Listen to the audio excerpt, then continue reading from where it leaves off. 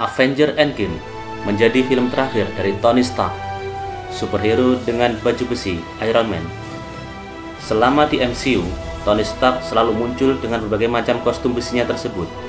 Mulai di tahun 2008, Iron Man terus berinovasi dari tahun ke tahun hingga laga terakhirnya dengan Iron Armor Mark 85 untuk mengalahkan Thanos.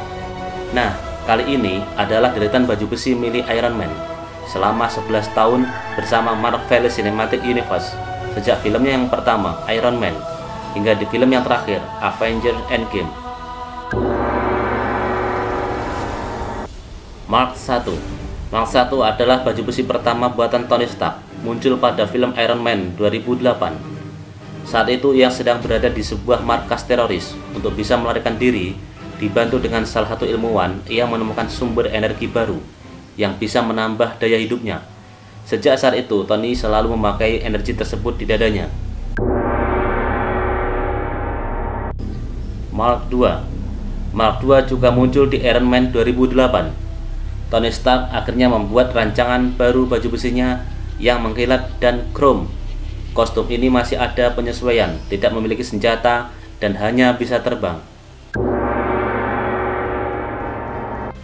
Mark III Mark III adalah bentuk yang sudah disempurnakan dari Mark II. Sudah dipersenjatai lengkap dengan sistem navigasi serta warna yang sesuai dengan Iron Man, yaitu emas dan merah.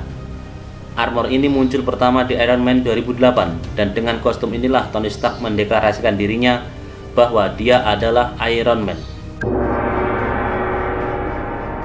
Mark 4 Pertarungan Iron Man dengan Obadiah Stane menghancurkan Mark III dan di film kedua Iron Man 2 Mark 4 diciptakan. Baju besi ini termasuk yang paling awet dan semua yang dimiliki oleh Tony Stark. Kemudian dipakai oleh James Rhodey dan Rhodes menjadi War Machine. Mark 5 Mark 5 pertama kali dikenalkan pada Iron Man 2. Kostum ini sangat mudah dibawa karena bentuk awalnya adalah sebuah koper dan kemudian menjadi baju tempur namun akhirnya hancur saat Tony harus melawan musuhnya Ivan Vanko yang juga menggunakan energi yang sama seperti Tony.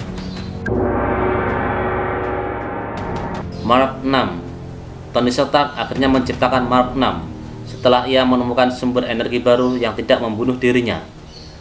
Energi tersebut sangat cocok dengan arc reactor yang ia pakai selama ini.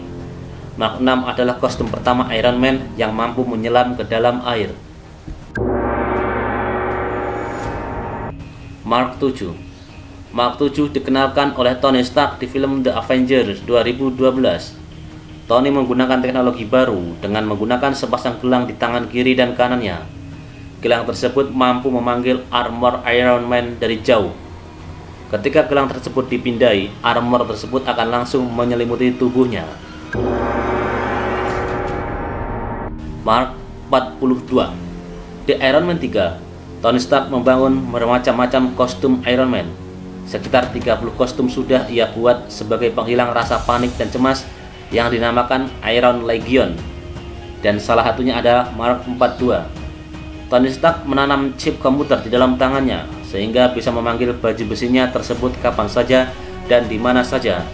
Tak hanya itu, Mark 42 bisa digunakan secara jarak jauh seperti remote control. Mark 43 Mark 43 muncul pada Avenger X of Ultron. Pada film Iron Man 3, Tony menghancurkan seluruh kostumnya kecuali Mark 42. Di film Avenger yang kedua tersebut, Mark 43 adalah Mark 42 yang diwarna ulang menjadi emas dan merah. Mark 44 Mark 44 atau yang biasa disebut Hulkbuster ini diciptakan untuk mengatasi Hulk yang sedang mengamuk. Hulkbuster pertama kali muncul di film Avenger Age of Ultron. Saat itu, Tony dan Hulk sedang bertarung. Meski hancur karena Hulk, Mark 44 akhirnya diperbaiki dan muncul kembali di Avenger Infinity War.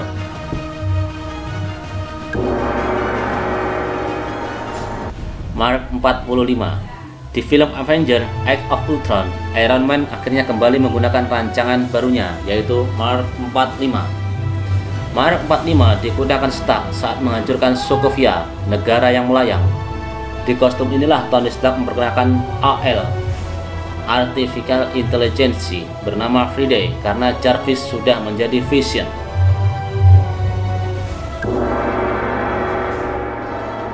Mark 46 Mark 46 digunakan oleh Tony Stark di film Captain America Civil War. Armor ini termasuk portable atau mudah dibawa ke mana-mana. Bisa berbentuk jam tangan atau di bawah kursi helikopter. Tony menggunakan Mark 46 untuk bertarung melawan Captain America.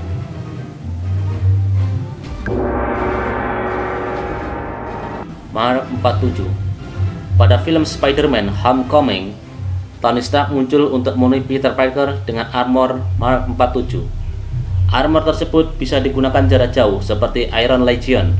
Tak hanya itu, Mark 47 juga memiliki peluncur misil di seluruh tubuhnya.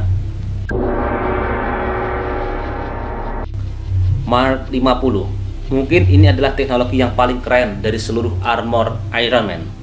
Menggunakan nanoteknologi yang membuatnya seolah seperti cairan yang menyelimuti tubuhnya yang bisa membentuk apa saja yang sesuai keinginan Tony. Mark 50 pertama kali muncul pada film Avenger Infinity War. Tak hanya itu, Mark 50 mampu mewujudkan sayap penguat nano sebagai penambah kecepatan. Senjata eksternal keren yang mampu menembakkan laser dan mampu menyegel luka saat ia ditusuk oleh Thanos. Mark 85 Ini adalah armor terakhir yang dipakai oleh Tony Stark Mark 85 adalah rancangan yang khusus ia buat untuk melawan Thanos. Dengan nanoteknologi kostum ini mampu menambah kemampuan tempur Iron Man yang bertarung dengan Thanos. Tak hanya itu saja, dengan nanoteknologi yang dimiliki oleh armor ini, Iron Man mampu memasang Infinity Stone seperti Infinity Gauntlet yang dimiliki Thanos. Dan dengan Mark 85, Iron Man berkorban untuk menyelamatkan alam semesta dari serangan Thanos meski harus kehilangan nyawanya